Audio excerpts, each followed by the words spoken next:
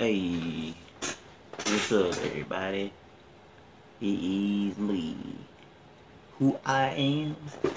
No, but um, hello, uh, brothers and sisters in Christ.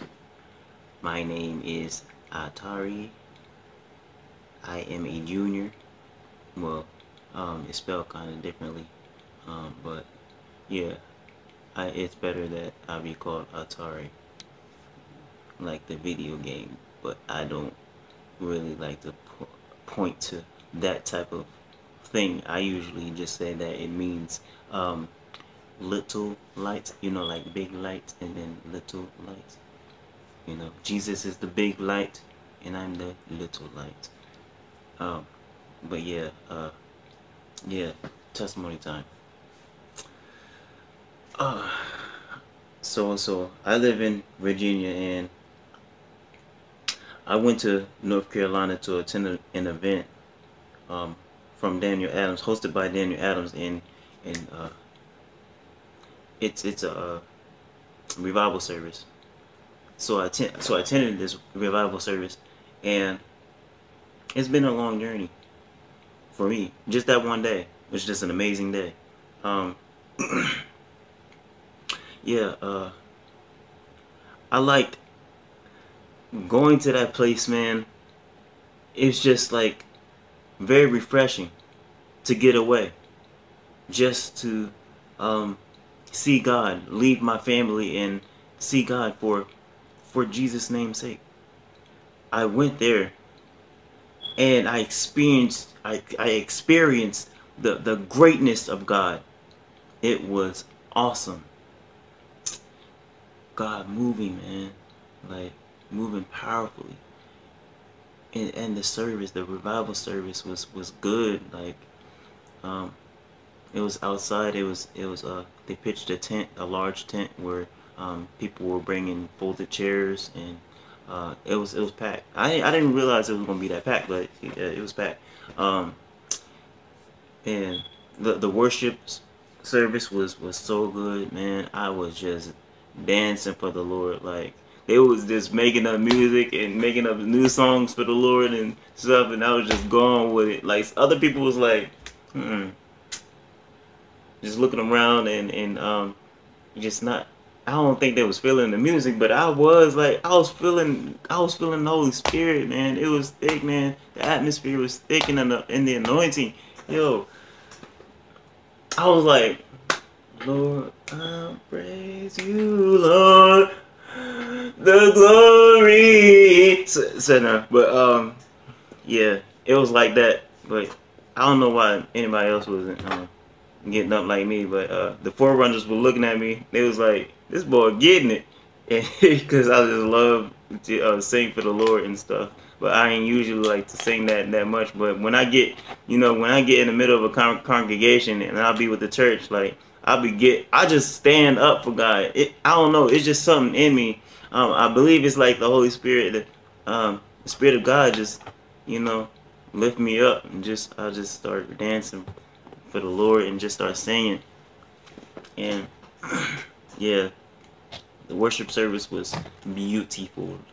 Uh, so next was the, the preaching, like, I, I, I kind of understood why they was doing um, worship service because usually worship uh, builds up the spirit. So so you, you you go into the flow with the spirit and you move on to the next thing. So the next thing was um, teaching and and preaching. So uh, they did that, and Daniel Adams did he did the preaching. He was teaching on um, how a demon would would uh, when you get cleaned up, when you get your house clean, the demon the demon leaves and then uh, it searches for a place to rest. It was searches through dry places and all this stuff um, just to find rest. But then it, it, it wonders um, if, you know, maybe I should go back home and, and see if that person is uh, back back where it shouldn't be, you know, um, where we, we can get in, you know, and, and he and the, um, the spirit, the unclean spirit brings more more spirits worse than itself, like seven other, other spirits worse than itself, and then comes back and see that person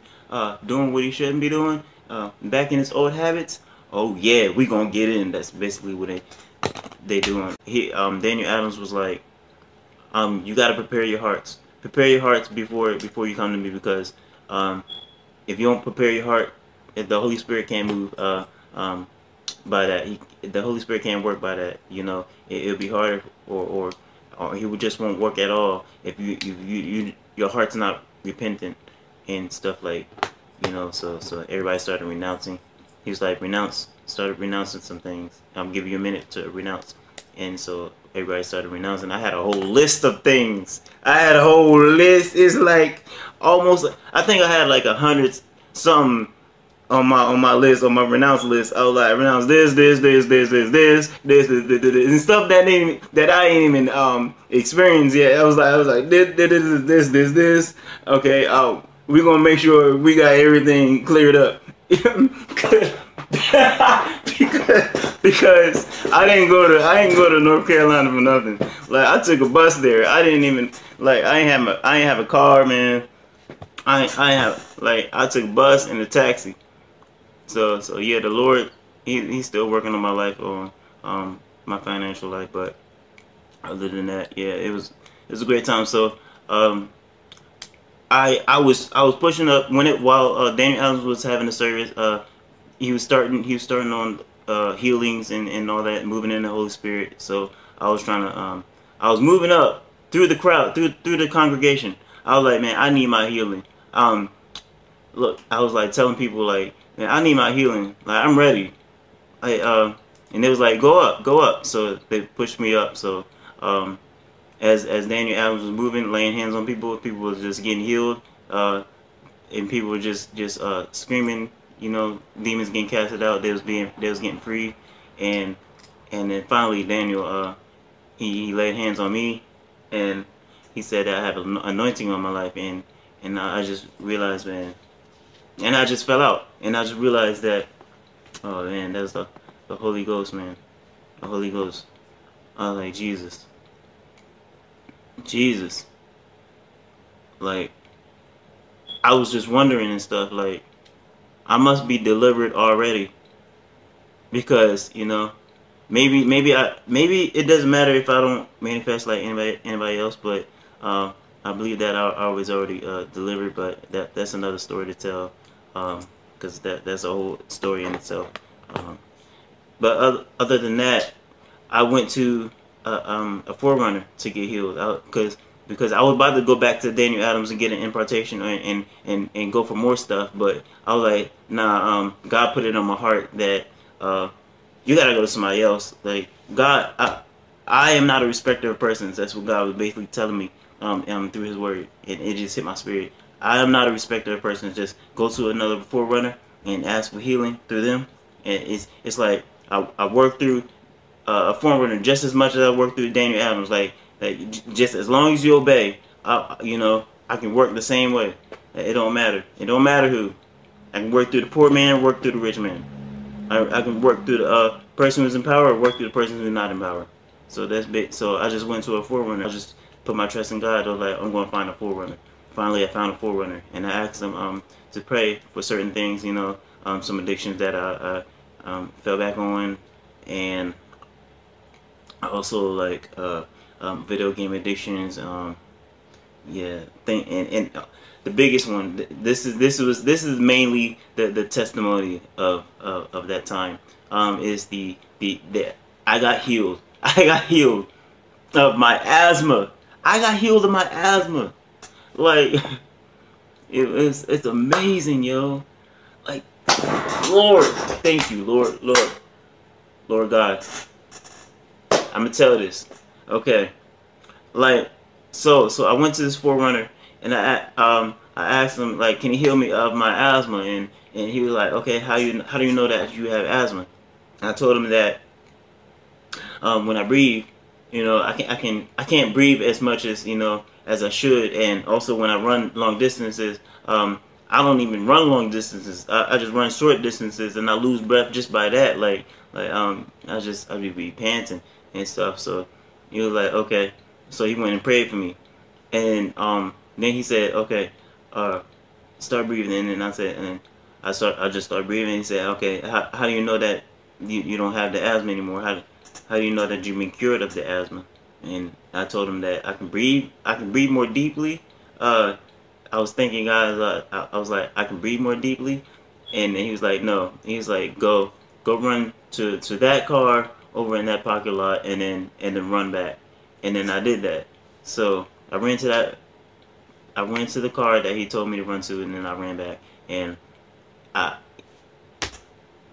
I didn't even lose any breath, man. Uh, I didn't lose breath, yo, man. That's amazing, man. Like I had a lot of struggles, you know, trying to run um, without losing breath, man. Like I be, I be, and I be losing conscience too. Like, like back then, like before, when I used to run like from work, from no, from home to work and work from home, work to home, and I just just be losing breath. Um, but uh, yeah, and and I was just amazed. But but then I I began to have fatigue, so he he uh prayed over me for to get the, the uh, fatigue removed and um also the vertigo. I told him I I'd be having vertigo that be uh, put me off balance whenever you know I smash my my finger like this, smash my finger against a com a compactor and stuff at work. So so yeah, and I had vertigo after that. So so he he prayed he prayed for that, and and we was good. I was good, and I was giving God glory, and we we got to know each other, and he gave me his card, and um, want to see if I wanted to join in, get hooked up onto uh with the Forerunners under Daniel Adams. So I was just interested in, and I should I should call him. But uh, yeah, um, I went to go find another Forerunner. I was like, I don't feel like I'm done yet.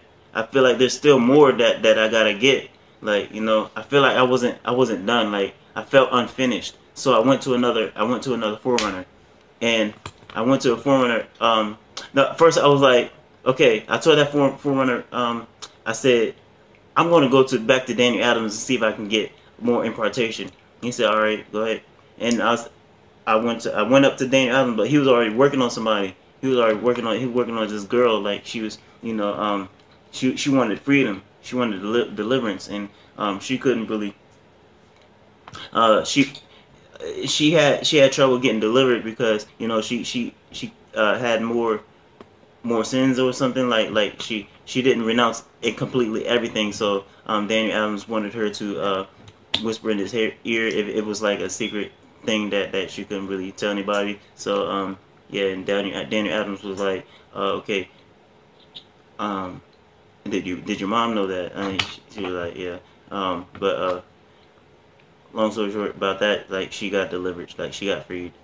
Um, then I went to a, another forerunner uh, all the way on, on the other side where Daniel Adams was working um, because he, he said that everybody that uh, okay I'm, I'm, going to need everybody who need deliverance you come to me and and then, um you know for everybody else every other forerunner they can do all other stuff and so I went to another forerunner and and um I talked to him and the crazy thing was with him uh, and was that everything that he struggled through I like I was struggling through the same thing.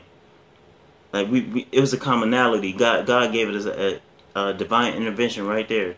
Like like we both fell in like the same type of sin, and then he he began praying for me, and um I I fell out, I fell out, and not only once, he prayed for me again, fell out twice, not only twice, three times, not only three times, four times.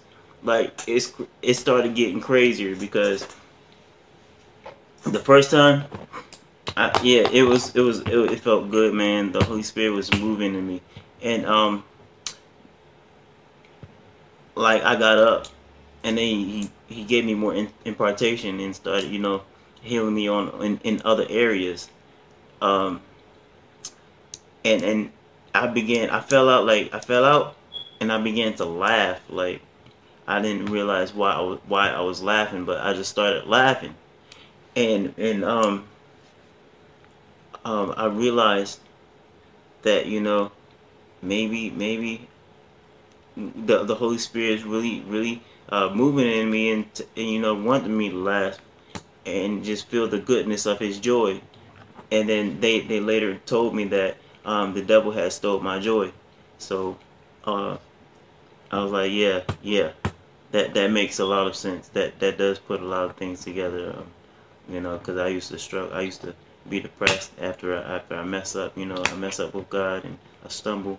So and, and I get all depressed and everything, and and I be running away from people when I'm depressed. I, I I usually just run away from people, and even my friends. I run away from my friends just to, you know, just to be alone. And sometimes I'll be crying, and um, yeah, I was man, it was beautiful.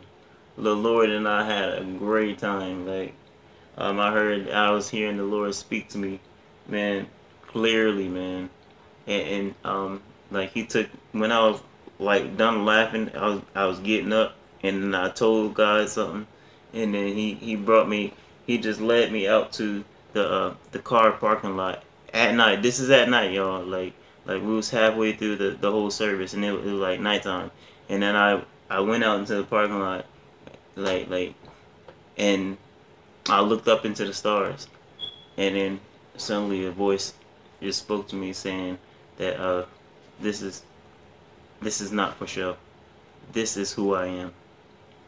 So and I was like okay, I, I there's no way I, I I don't think like that like like those I don't use those type of words. Like why would I use those type of words? Like what kind of person am I, am I to say that even to myself? Like are you bonkers? Like but um I just I realized I knew that was Jesus. I, I knew that was the Lord um speaking that to me because because because I don't, I don't think in that that type of pattern. That sounds like that that type of speech sounds like it would come from someone with authority. Like there's no way he said he said he said this is not for show. This is who i am.